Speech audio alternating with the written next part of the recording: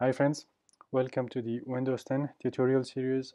In this tutorial, I will show you guys how to configure a static IPv6 address. So let's get started. Now the first thing that you do is that you right click on this network icon in here. So this is the icon. Once you right click on it, then click on open network and sharing center. Uh, after that, what you do is that you click on this in here, this option, change adapter settings. Once you click on this, uh, it will show you a list or it will show you all your interfaces. Currently I have only one in this virtual machine but you can have one or multiple interfaces. You usually have a wireless interface also but it doesn't matter. So the thing is that whichever interface that you want to configure your IPv6 on uh, what you do is that you right click on it and then click on properties. This is one way of doing it. You can also double click on it and then click on properties.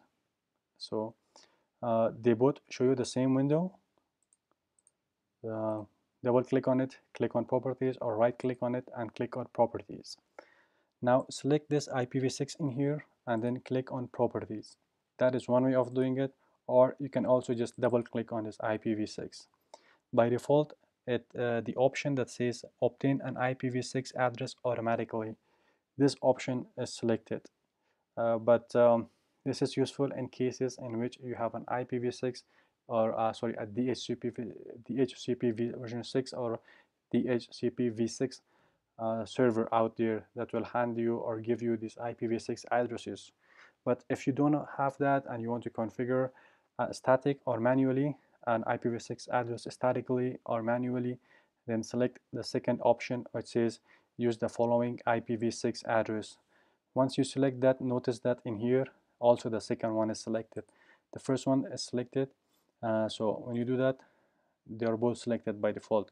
Uh, but the thing is that when you click this use the following IPv6 address notice that this also gets selected because if you're not receiving an IPv6 address from a DHCP v6 server then you should configure your DNS servers because if you don't then you might not be able to access the internet depending on your configurations so in here once you select this use the following IPv6 address. Then in here you type in your IPv6 address. So in here I will type in uh, IP address of 2001 ABC uh, ABC and then 1 2 3 4 and then I will say 105 after that um, so sorry 104 so this is my DHCP sorry IPv6 address after that I specify the prefix. So usually the prefix for IPv6 address is 64 but you can configure it however you want. If you're if you're in your organization you're using some other prefix length or subnet mask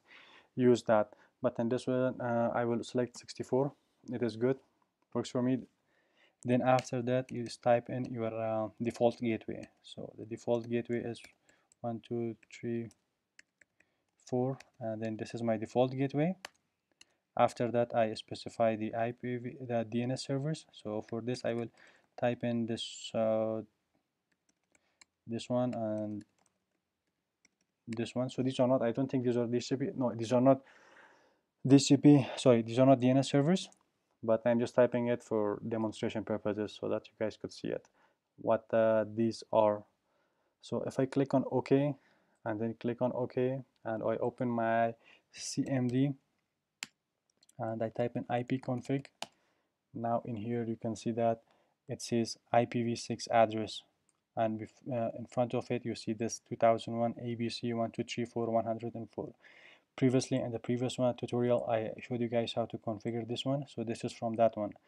Uh, however under the default gateway you can also see that uh, previously there was only one IPv6 uh, sorry previously there was only the IPv4 address which I had said now there is this IPv6 address as well. This is the one that we configured previously. So now that you have two default gateways, one for your IPv4 and one for your IPv6.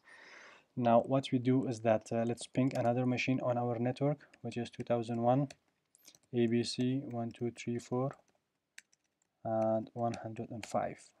Notice that the replies are coming and it says that 0% lost received 4. So this means that everything is good and running.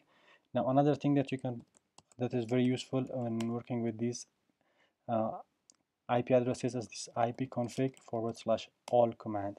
Why is it good? Because it shows you things like whether DHCP is enabled or whether you have it shows you your uh, DNS addresses uh, so all these things now in here for example let's say that this is the description so this shows you your information about your adapter what kind of adapter you're running it shows you this is the physical address. So this is your MAC address. And this is HDHCP enabled. So no it's not enabled. Auto configuration enabled. Yes it is enabled. Uh, so this is the IPv6 address which we configured. This is the link local IPv6 address which we configured. Then this is our IPv4 address which I showed you guys how to uh, configure in the previous tutorial. Uh, this is my subnet mask and the default gateways I have two default gateways. One is the IPv6 default gateway and then there is this IPv4 default gateway. And then there is the DNS servers. Uh, these two are the IPv4 DNS servers and these two are the, the IPv6 DHCP servers. So these uh, I don't think no. I don't think these are I'm kind of sure these are not the DNS servers. Uh, I haven't tested them. These IPv these DNS servers are just for demonstration purposes. So if you're uh, if you want to configure DHCP uh, version 6 DNS address or D DNS address in IPv6 format what you do is that uh, search for it and enter that in here. This is just for demo so these addresses don't exist. So this is it for this tutorial guys. If you have any questions suggestions or recommendations feel free to put them in the comment section below and I will see you guys in the next one